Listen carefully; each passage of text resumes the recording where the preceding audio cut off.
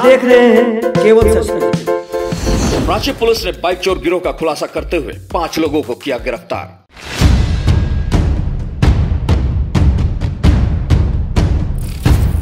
चोरी की छह स्कूटी व बाइक बरामद। आरोपी अपने आप को श्रीराम फाइनेंस का फाइनेंसर बताकर चोरी की दुपहिया वाहनों की बिक्री किया करते थे। राजधानी रांची करगोड़ा थाना पुलिस ने बाइक चोर गिरोह का खुलासा करते हुए पाँच लोगों को गिरफ़्तार किया है। गिरफ़्तार लोगों में सुभाष कुमार रवि लोहरा, राहुल उर्फ़ ऋषिकेश तबरेज अंसारी एवं सूरज करकट्टा शामिल हैं। पुलिस ने इनके पास से तीन स्कूटी, तीन बाइक और पाँच मोबाइल फ़ोन बरामद किए हैं।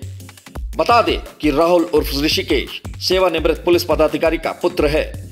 इस गिरोह के लोग मास्टर की के सहारे बाइक को अनलॉक कर इसकी चोरी किया करते थे। गिरोह के लोग चोरी की बाइक बेचने के समय ग्राहकों को श्रीराम फाइनेंस का फाइनेंसर बताते थे। ग्राहकों से कहा जाता था कि उन लोगों ने गाड़ी जब्त की है। इसके बाद ग्राहकों को भरोसे में लेकर सस्ते में बाइक की बिक्री कर दी जाती थी। ये ग्राहकों को बाइक और स्कूटी का फर्जी कागजात भी बनाकर देते थे, जिस पर रांची पुलिस गहराई से जाँच कर रही है। जानकारी के लिए आपको बता दें कि रांची के एसएसपी चंदन कुमार सिन्हा को गुप्त सूचना मिली थी कि आनंदपुरी चौक में दो अपराधी चोरी की बाइक व स्कूटी बेचने के लिए घूम रहे हैं। इसी सूचना के आधार पर रांची के सिटी एसपी राजकुमार मेहता के निर्देशन में हटिया डीएसपी राजा कुमार मित्रा और अरगोड़ा थाना प्रभारी ब्रज कुमार के नेतृत्व में बनी टीम देर शाम करीब साढ़े सात बजे आनंदपुरी चौक पहुँची तो पुलिस को देखकर दो युवक भागने का प्रयास करने लगे, जिसके बाद गठित टीम के द्वारा दोनों को बाइक एवं स्कूटी समेत पकड़ लिया गया, जिसके बाद इस पूरे मामले का खुलासा रांची के एसएसपी चंदन कुमार सिन्हा ने प्रेस कॉन्फ्रेंस में किया।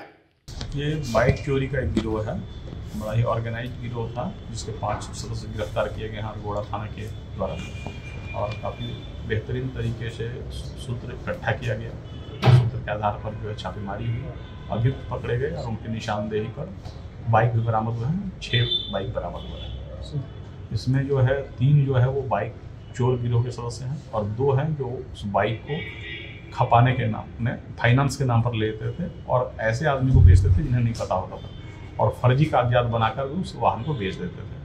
तो ये एक साथ वाहन चोरी चोरी के वाहन को खपाने और जाली कागजात बनाने तीनों का गिरोह था और इसलिए बहुत बड़ी उपलब्धि है। बैकग्राउंड क्या है सर? ये तो लोग पढ़े लिखे हैं स्टूडेंट हैं क्रिमिनल बैकग्राउंड है पहले भी जेल जा चुके हैं क्या?